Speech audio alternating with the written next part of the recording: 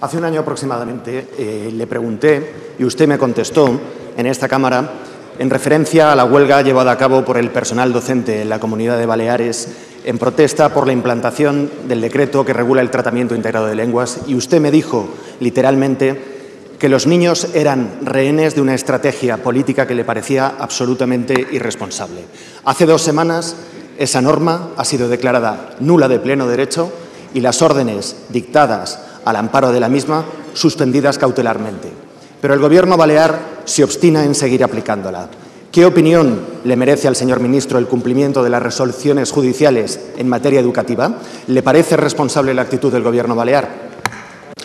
Señor ministro, usted tuvo la oportunidad hace un año cuando solicité, se lo solicité, de proteger a los suyos.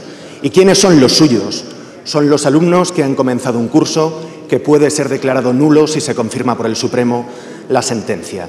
Son los padres que han comprado un material escolar que puede resultar inservible antes de que acabe el curso. Y, por supuesto, son los profesores que llevan demasiado tiempo viendo cómo su dedicación laboral se pasea por el abismo de la inseguridad jurídica.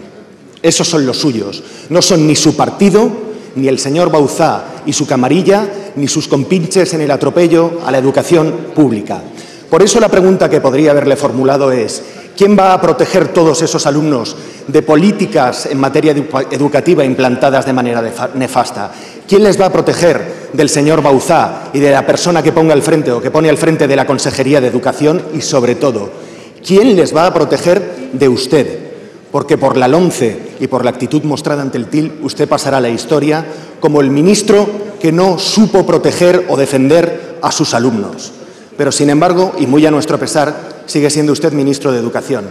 Así que tiene en su mano llamar al señor Bauzá y exigirle o hacerle entrar en razón para que retire el TIL y acabe con este despropósito educativo y político. Así que hágalo, por favor.